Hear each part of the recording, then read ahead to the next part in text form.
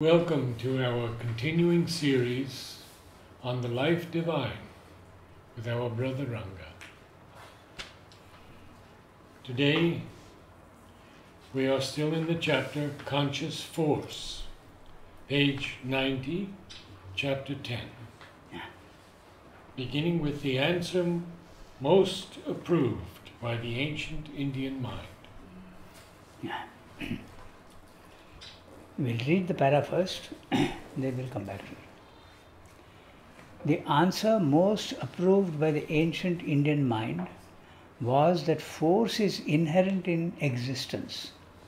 Shiva and Kali, Brahman and Shakti are one and not two who are separable. Force inherent in existence may be at rest or it may be in motion. But when it is at rest, it exists nonetheless and it is not abolished, diminished, or in any way essentially altered. This reply is so entirely rational and in accordance with the nature of things that we need not hesitate to accept it. For it is impossible, because contradictory of reason, to suppose that force is a thing alien to the one and infinite existence and entered into it from outside or was non existent and arose in it at some point in time. Even the illusionist theory must admit that Maya, the power of self illusion in Brahman, is potentially eternal in eternal being, and then the sole question is its manifestation or non manifestation. The Sankhya also asserts the eternal coexistence of Prakriti and Purusha, nature and conscious soul, and the alternative states of rest or equilibrium of Prakriti and movement or disturbance of equilibrium. In the previous para, he has been discussing we are aware of an existence which is not compelled by the movement. how then, he asks, how then does the movement, alien to its eternal repose, come to take place in it? By what cause? By what possibility? By what mysterious impulsion? You have an existence which you can think of as a substance, and the substance has got force in it. So the force can be at rest or it can be in movement. If it goes into movement, it creates the universe. If it is at rest, you have the pradhana of the Sankhya and you have the experience of the self. The experience of the self is exactly that. You go to the mind, make your mind silent, and you experience the immutable eternal existence which is infinite, featureless. This now the answer that is given, it is not that the force is compelling the matter or there is anything, but they are both one. Sat, Chit, Shakti, Anand, Chit and Shakti and Sat are all one at the highest level. They are eternally one and not separate. That's the first answer he is giving. The answer most approved by the ancient Indian mind was that force is inherent in existence the substance which is there is has got force in it. In fact, it corresponds very well to the scientific idea that matter is force, which hmm. corresponds perfectly. So, at the subtlest level, what is true is also true at the lowest level. So, the answer most approved by the ancient Indian mind was that force is inherent in existence. Shiva and Kali, Brahman and Shakti. Shiva and Kali, Sri uses these terms in the record of yoga, Shiva is the Purusha, Kali is the Prakriti. Or, in other words, Brahman and Shakti. Shakti is the Prakriti and Brahman is the Purusha. Using different words. Or you can also use the words Purusha and Prakriti. Basically, the same thing. Force inherent in existence may be at rest or it may be in motion. But when it is at rest, it exists nonetheless and is not abolished. He is mentioning this because the Buddhists say that it is abolished. They say it is shunyam, there is nothing at all there. Whereas they say it is there, you can't consider it as abolished. Because we have discussed this earlier, it is so featureless no color, no form, no shape, no weight, nothing at all. So you can't describe it in any way. And if you can't describe it in any way, you are within your rights to say that this is nil, there is nothing in it. That's the whole thing. But you need not think of it in that way. You can think of it as something positive, a featurelessness which contains all the features in it inherently and it comes out, just like the seed and the tree. So, at rest or it may be in motion, and when it is at rest, it exists nonetheless and is not abolished. He is contradicting Buddhism and Mayavada. Diminished or in any way essentially altered. This reply is so entirely rational and in accordance with the nature of things that we need not hesitate to accept it. He is giving you a reason why. For it is impossible, because contradictory of reason, to suppose that force is a thing alien to the one and infinite existence and entered into it from outside or was non existent and arose in it at some point in time.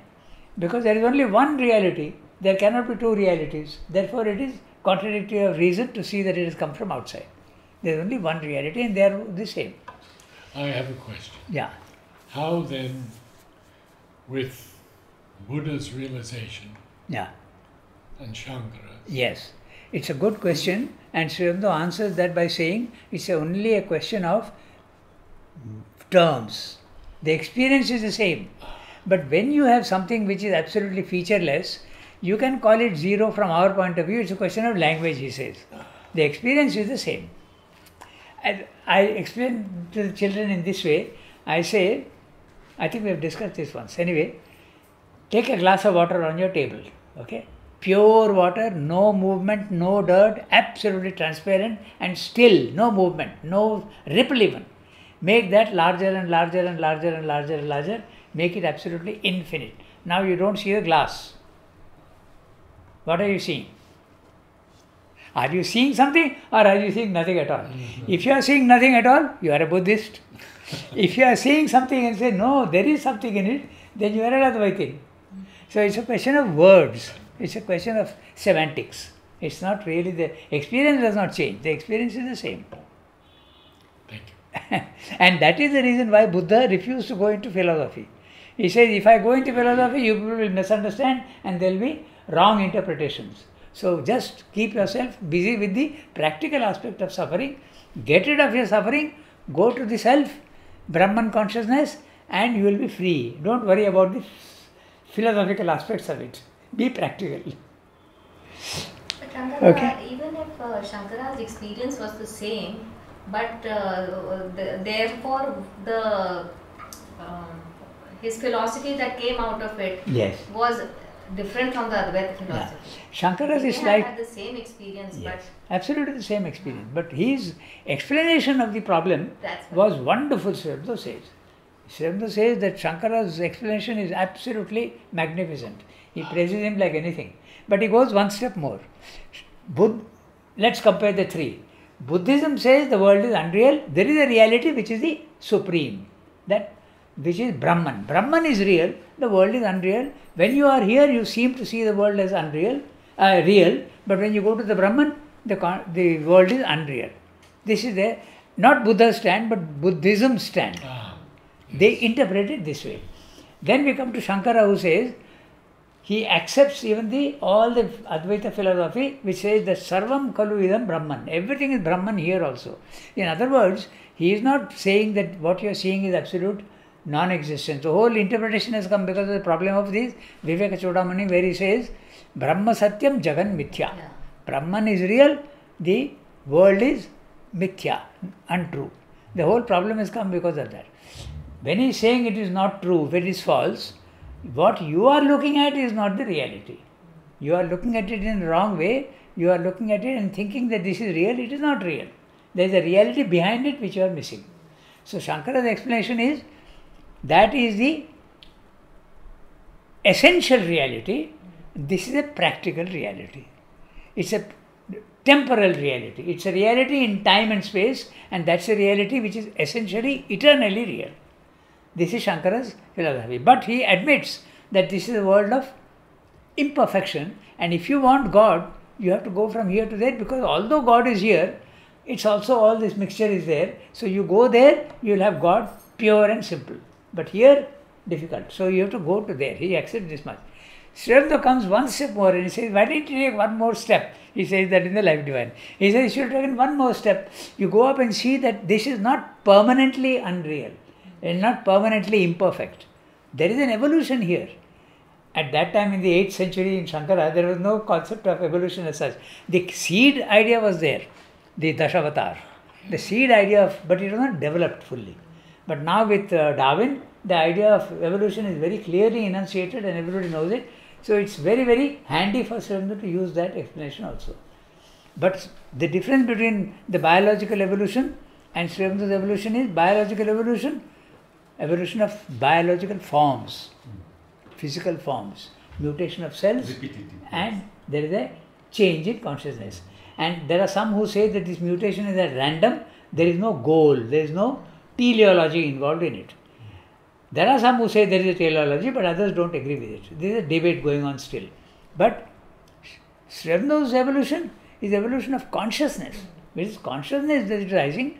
But for the development of consciousness to become manifested here, you need a parallel biological evolution. Hmm.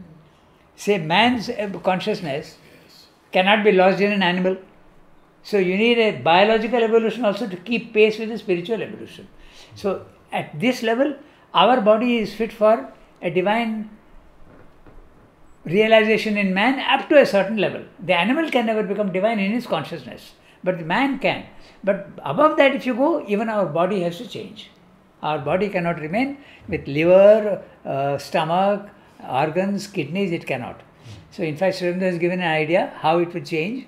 He has given indications and he says that the chakras, the seven chakras in the body will replace the organs.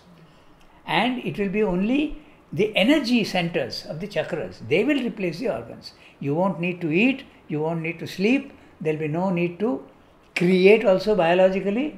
You will be able to swayambhu you will be able to create yourself. Materialization is possible we know that. It happened even in the ashram there were stones materializing out of nowhere so we can't doubt that. So a swayambhu and a person when he is at that level he can remain as long as he wants and he feels that his work in the world is still relevant he will remain there. But if he wants he can dissolve that personality. But the body will be a subtle body it will be a supramental substance. We have a ordinary matter which is material substance. Then we have life substance. We have substance in which life has been infused. That's what all animals are. It is matter but with life in it.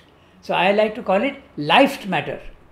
Then you have the human brain which is mind infused matter.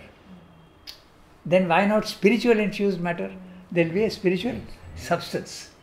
And that substance will be part of the the supramental body this is so you need a biological evolution also but you the main aspect of Sri Aurobindo philosophy is the consciousness the evolution of consciousness higher and higher consciousness but that consciousness is lodged in a body which is relevant to that consciousness. Therefore there has to be a biological evolution also. That's the important part. Okay? So even the illusionist theory must admit that Maya, the power of self illusion in Brahman, is potentially eternal in eternal being, and then the sole question is its manifestation or non manifestation. Let's get to the sentence again. Even the illusionist theory, he is talking of Mayavada.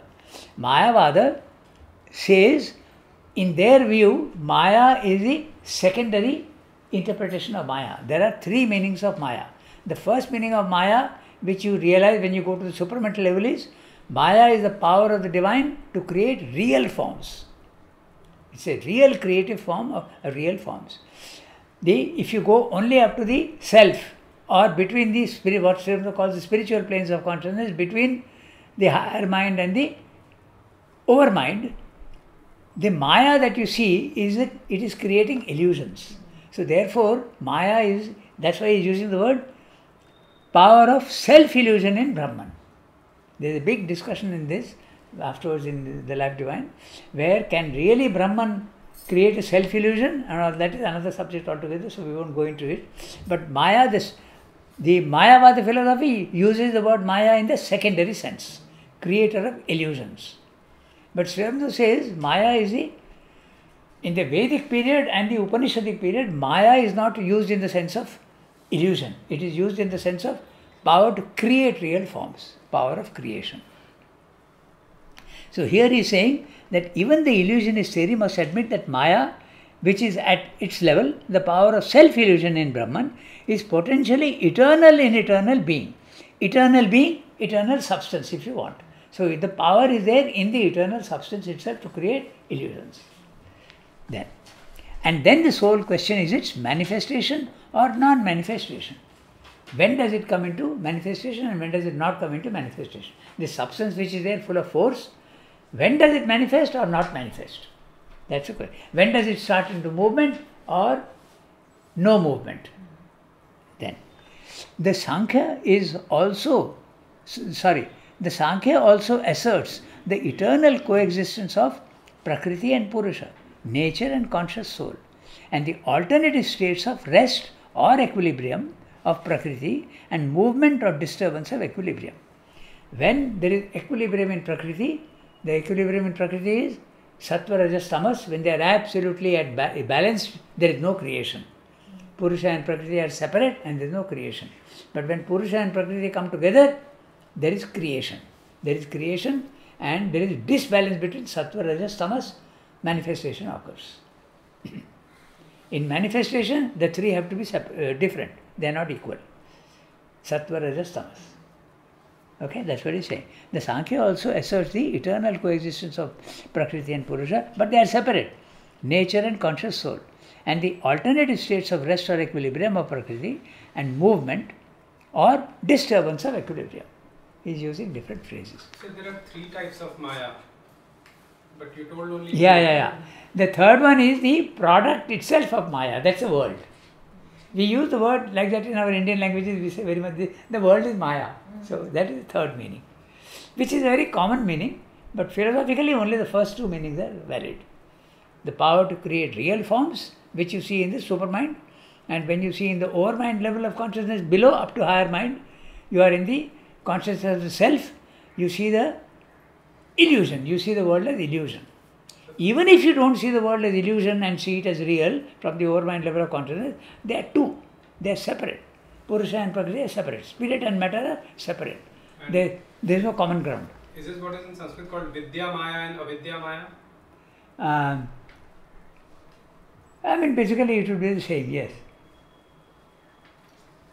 The Vidya Maya has the sense of oneness, whereas the Avidya Maya does not have the sense of oneness.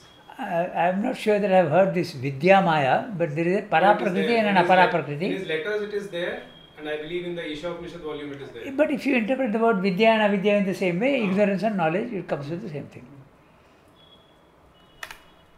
Okay, so we have come to that. That substance, which is existence, has force in it, absolutely one together.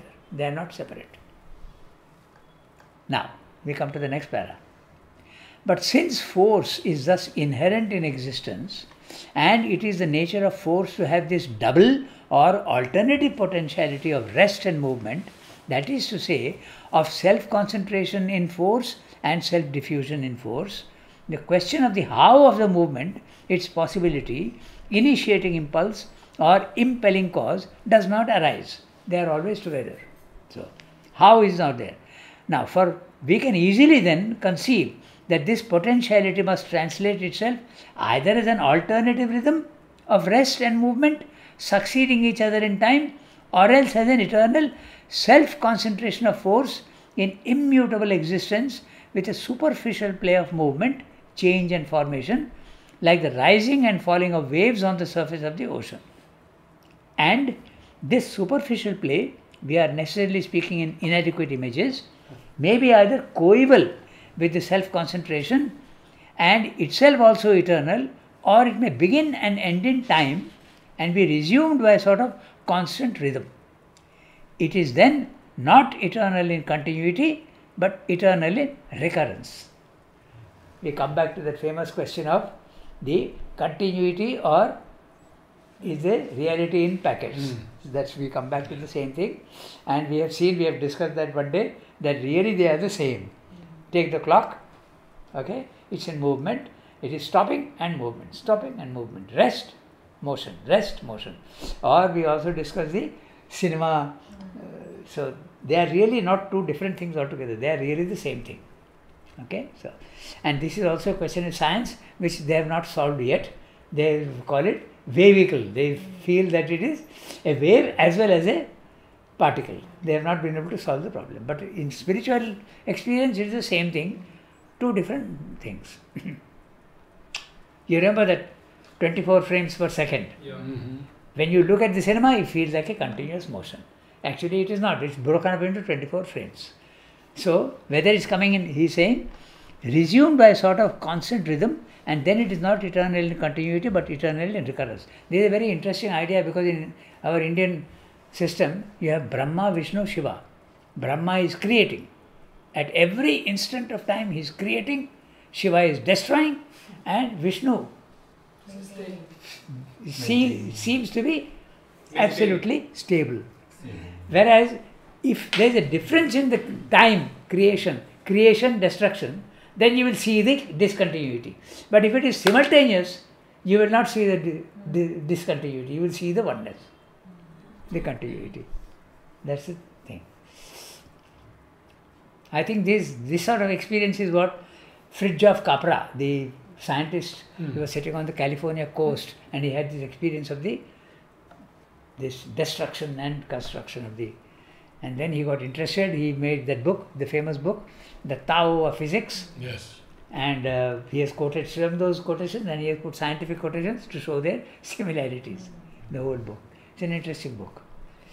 I read it long time back. I don't remember the details now.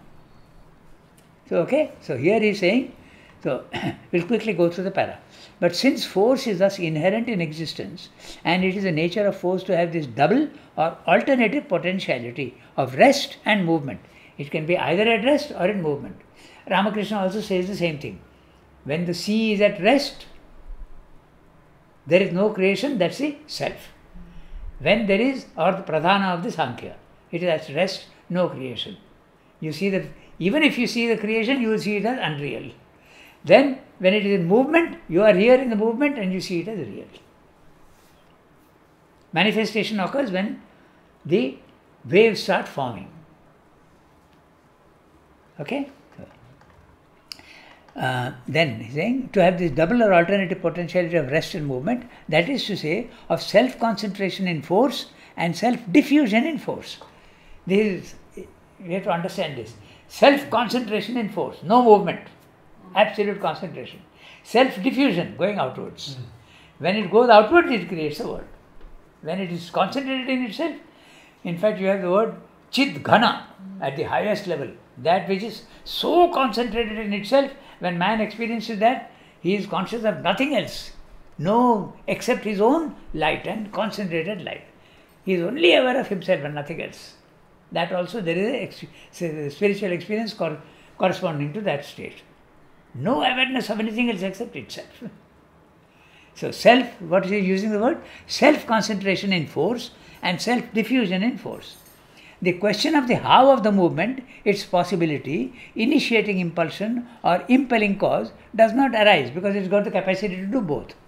For we can easily then conceive that this potentiality must translate itself either as an alternative rhythm of rest and movement, like the clock, okay, or alternative uh, rhythm of rest and movement succeeding each other in time, or else as an eternal self concentration of force in immutable existence with a superficial play of movement. That's the experience when you get also, the, you make your mind silent, that's what you feel. It's interesting because there was a gentleman who had the silent mind experience, okay? He was very close to me. And he, I asked him, I said, when you have th- thoughts in the mind, how do you see them?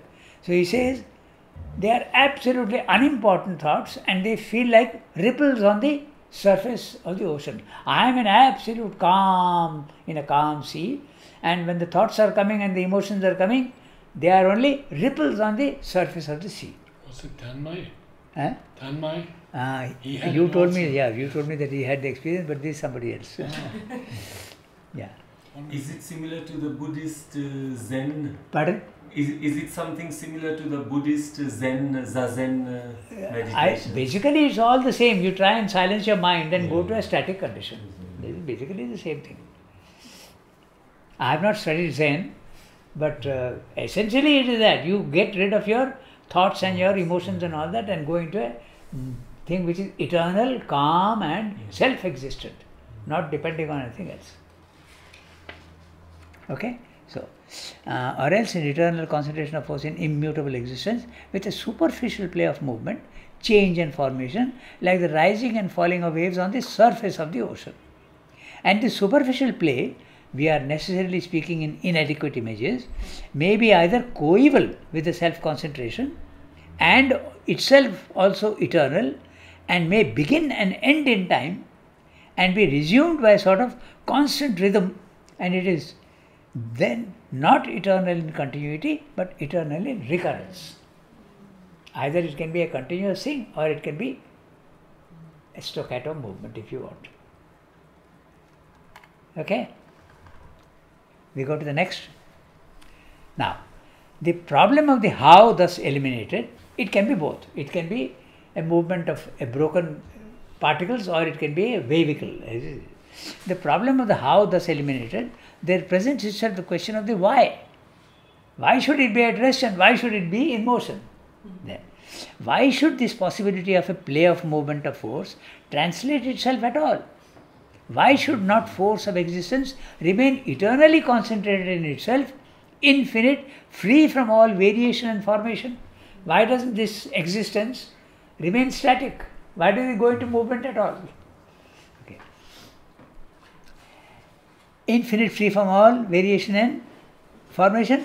This question also does not arise if we assume existence to be non conscious and consciousness only a development of material energy which we wrongly suppose to be immaterial. So, if there is no consciousness in it, then the question does not arise, he is saying. Okay? If there is a consciousness in it, then it has a choice. And then you can ask, when is it choosing to do this and when is it choosing to do that? But there is no consciousness, it's a mechanical law. Then, this question also does not arise if we assume existence to be non conscious and consciousness only a development of material energy which we wrongly suppose to be immaterial. The consciousness is saying is wrongly supposed to be immaterial okay, because consciousness also is a substance. In fact, he has a whole uh, in the letters on yoga he explains that that consciousness is something that is as self dependent as light. It's not that the scientific idea is that animate creatures are creating consciousness. Where there is no life, there is no consciousness. That's the scientific view. A stone doesn't have consciousness, but an animate creature, something that is living, there is consciousness. Dashrandra is denying that. He's saying it's not like that at all. Consciousness is something independent of either animate or inanimate creatures, something that self existent as light. light will exist even whether I exist or not, or you exist or not, it is there. So, exactly the same way, consciousness also is there. From the infinite level right down to the almost inconscious. It's something that is there independent of everything else. And it's a substance also. Subtle substance at the highest level, and here it gets merged into matter. If we, uh, if assume existence to be non conscious and consciousness only a development of material energy which we wrongly suppose to be immaterial, because this is exactly what science is saying. Consciousness is a byproduct of matter. Life also is a byproduct of matter. It is matter that is creating life by chemical reactions within itself, and thought also is nothing but a byproduct of matter. Sri is denying that. He says it's not like that at all. okay, so. For then we can say simply that this rhythm is the nature of force in existence and there is absolutely no reason to seek for a why, a cause, an initial motive or a final purpose for that which is in its nature eternally self existent. But the question will arise if there is a consciousness in it. Because consciousness implies choice. Then it has to decide when I will go into motion and when I will not. So the problem arises if there is a consciousness in it. Okay. Then we cannot put that question to eternal self existence and ask it whether, uh, sorry, ask it either why it exists or how it came into existence. Neither can we put it to self force of existence and its inherent nature of impulsion to movement. All that we can then inquire into is its manner of self manifestation. How does it manifest itself? Its principles of movement and formation, its process of evolution. Both existence and uh, sorry, existence and force being inert, we have the word inert again. Yes, yes. okay, inactive in that sense, uh, non-conscious in that sense. Inert status and inert impulsion, both of them unconscious and unintelligent, there cannot be any purpose or final goal in evolution or any original cause or intention. This is again the scientific view. There is a constant mutation of cells, there is no goal, it is just random mutation of cells. And he puts it so beautifully because he gives you the scientific answer first. Yes. And, And then Yeah, It it goes on one by one, that's Yes. right. Okay? Now the question arises but if we suppose or find existence to be a conscious being, the problem arises. When is it choosing to go into motion and when is it choosing to remain in static condition? We may indeed suppose a conscious being, now it is a little complicated, the reasoning. We may indeed suppose a conscious being which is subject to its nature of force. So, there is a consciousness and there is a force. Purusha, Prakriti. Okay? Which one is dominating? That's a question that he will decide now. We may indeed suppose a conscious being which is subject to its nature of force, compelled by it and without option as to whether it shall manifest in the, in the universe or remain unmanifest. The force will decide the consciousness whether I want to go into motion or not. Okay, then. We may indeed suppose a conscious being subject to its nature of force, compelled by it and without option as to whether it shall manifest in the universe or remain un- unmanifest. Such is the cosmic god of the Tantrics and the Mayavadins, who is subject to Shakti or Maya, Purusha involved in Maya and controlled by Shakti. This is the tantric solution. They say that Shakti is the main element, consciousness is less than the force. and the force. So that's why the tantrics ah. worship Shakti, the divine mother they concentrate on. Hmm. Ultimately they'll come to the same thing, but this is the but the Advaitin philosophy does not accept that. Consciousness is the main thing. They will go to that aspect. So different views of different philosophies, both have their validity, and it's a question of how you look at it. Because our mind likes to make difference and analyze things and say we want clarity. But above the mind, there is no logic as such, there is super super logic. So two contradictory things can exist at the same time. We may indeed suppose that is seen. So such is the cosmic god of the Tantrics and the Mayavadins, who is subject to Shakti or Maya. Because when you go to the self, this is an experience that everybody gets. When you make your mind silent and go to a Brahmic consciousness, you are inactive. You are absolutely without any force. You are just watching. You have no force to change things down below. If you want to change things down below, even your own body mind life, you have to climb even higher up. If you don't climb higher up, you are not even interested in changing anything. Suppose you have some bad habits. You have now come out of your body mind life, you are static, you are looking at your own body mind life, no judgment at all. You are seeing, oh, this habit is there. Now, not good or bad, it is just a habit. It's just a action, neutral action without attribution of good or bad. You are just witness, sakshi. This is the experience of the self. You are absolutely no force and you are not interested in force also because you are so free. You have become absolutely liberated from your body mind life. You are at peace and you are wonderfully happy. Not happiness necessarily, but absence of disturbance, peace. That's the main feature. So you are absolutely calm and quiet. But Sri says, if you look carefully, because that's Gita also, in the Gita also you have the First of all, you realize that you are the permission giver. You are witness first. You are just watching without comment or any feelings. Then you realize that this body mind life, which seems to be separate and there as a dot in the universe, is after all your own body mind life. And you have given it the passive permission to do whatever it is doing good habits or bad habits. Then you can shut off the permission. You become the Anumanta, you become the permission giver. And when you shut off the permission, the accumulated energy in the body mind life continues until it dies down. So you have when you go to the self, there is an option of changing things there, but it takes time because you shut off the permission, the energy flow is stopped. I like to explain this to my children like this. I say, when you are coming on your scooter, you come 100 meters before knowledge gate, you want to save petrol, you switch off the engine. Does the scooter stop? It doesn't. It will continue until the accumulated energy in it gets exhausted. So, all your bad habits or good habits, you have permitted it to happen in the body mind life. Now you say, I don't want them, you shut off the engine. The accumulated energy will slowly go off and your habits will change. So, you have the option at the psychic, uh, the uh, level of the self to stop the permission. But normally you are not interested. But if you want to go higher up, like in the Gita or in Sri Aurobindo philosophy, you have the permission, you have the capacity to change even your body mind life, but slowly, not fast. It takes time for it to act. That can happen. Alright? So, this is what he's saying. But it is obvious that such a God is not the supreme infinite existence.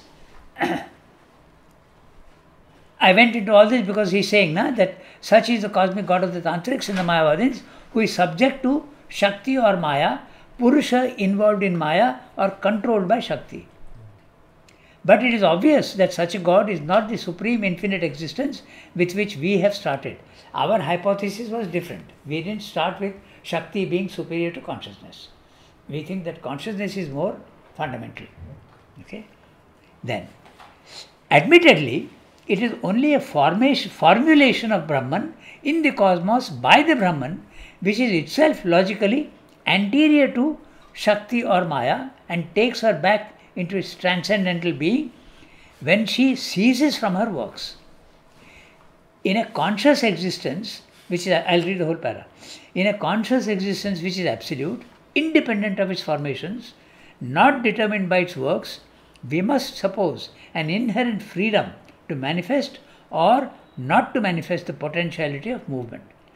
A Brahman compelled by Prakriti is not Brahman, but an inert infinite with an active content in it more powerful than the continent. A conscious holder of force of whom his force is master. If we say that it is it is it's compelled by itself as force, consciousness has its own force and its own force is compelling it, He's looking at it a different way. By its own nature, we do not get rid of the contradiction, the evasion of our first postulate. We have to get back to an existence which is really nothing but force, force at rest and in movement, absolute force perhaps, but not absolute being. So, in other words, there is a difference in looking at things. There is the Mayavada philosophy and the Tantric philosophy which says Shakti is the main element. So, we will go through Shakti.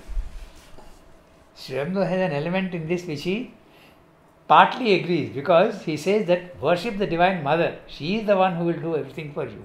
So the that's one of the points which is common with Tantra and hmm. Sri Aurobindo's philosophy. Three things which are common to Sri Aurobindo and Tantra. One, the Divine Mother, Shakti. Surrender to her. She hmm. will do everything for you. Second, the world is not unreal. Tantra also, the world is not unreal in Tantra. And the third one, Ananda is the aim of life. In Tantra, they use it in a very gross manner, hmm. Ananda, even at this level. But Sri Aurobindo says Ananda is the aim of life, certainly. So these three things he agrees. But Ananda not as it is understood at the lower level, but Ananda is understood at the higher level. So, in fact, Sri Aurobindo has a weakness for Tantra. He says, in the synthesis also, he says, it's a remarkable system because he likes a challenge. And Tantra is exactly challenging, it meets the problems head on. In Savitri, there's a beautiful line for one too great for him, he worships her. He's talking. Yes, it, yes. It is the Purusha talking Yeah. for Yeah. Prakriti. That's right. Shiva and Shakti, they are worshipping each other. There in the Sa- Savitri, it is very clear that he is obeying her and she is also surrendering to him. because at the highest level, they are one. No? At the- Mother also says that uh, without me, he is unmanifest. exactly. And without him, I exist not. Yes, exactly. So, And ve- uh, repeatedly again, our consciousness is the same. And she says that if you can't think of I said, Sri Ramda and Mother as one, if you can't think of us as one, then you will not be able to reach the supramental world. you have to think of them as one. How old is the tantric system and which is the main book or books? Oh, that is something I can't say. I don't know. Uh, there is Madhav Pandit's book is there, one on Tantra. He was quite an authority on Tantra. You can see there. I have read it, but I don't remember the exact detail. But it is. uh, I don't think in Indian history you have dates. This is a problem. In India, the sense of history was never there. Neither history nor mentioning of who has discovered what. Yeah. This is not it there. It was post Upanishads, no? Pardon? It was Yes. post Upanishads. Ah, It is post Upanishads. yes, Yes. I would think so, yes. Okay. Uh, you want me to go back to the last sentence in the previous one? Mm. Okay. yes. If we say that it is compelled by itself as force, by its own nature, we do not get rid of the contradiction, the evasion of our first postulate. The, the Advaitic philosophy is quite different from the Tantric philosophy. That's what he's saying, that whatever you see it as, whatever you play of words, the problem remains the same. So, we have to get back to an existence which is really nothing but force, force at rest or in movement, absolute force perhaps, but not absolute being. Absolute force perhaps, but not absolute being. Let me read out to you what I have uh, written as a summary of this paragraph, okay? So, but if we assume existence that is substance to be conscious, then the question why becomes relevant. Consciousness implies choice, and why is then legitimate. The question why is legitimate. In this context, substance being conscious, we can conceive of a force which compels being to move into manifestation. Prakriti compels Purusha to obey her. Such a god subject to Shakti is the deity of the Tantrics and the Mayavadins. But this god is not the conception we have started with. In the integral view, consciousness is supreme and possesses power. At the highest level, possesses power. Then, in this view, Brahman is equal to conscious being, is equal to Purusha, is anterior, and Shakti is Prakriti, is posterior. It is Brahman uses Maya to manifest, and later, when force becomes dominant and rests, it is reabsorbed into itself, himself. That's what he's saying. A Brahman who is compelled by Prakriti is an inert infinite, not a conscious infinite, who is less powerful than Shakti. Even if we assume that force is the very nature of consciousness and it compels consciousness, nothing is changed because Shakti remains supreme and controls Purusha. That's what he's saying in the end. Doesn't change the problem. So you have to consider consciousness being the primary fact.